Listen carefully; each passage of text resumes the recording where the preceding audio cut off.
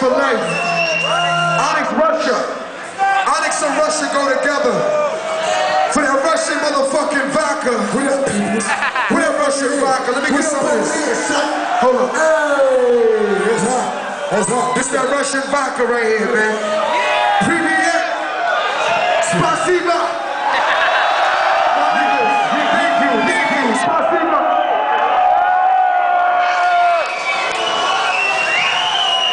Yeah. The first album was Bacdafucup.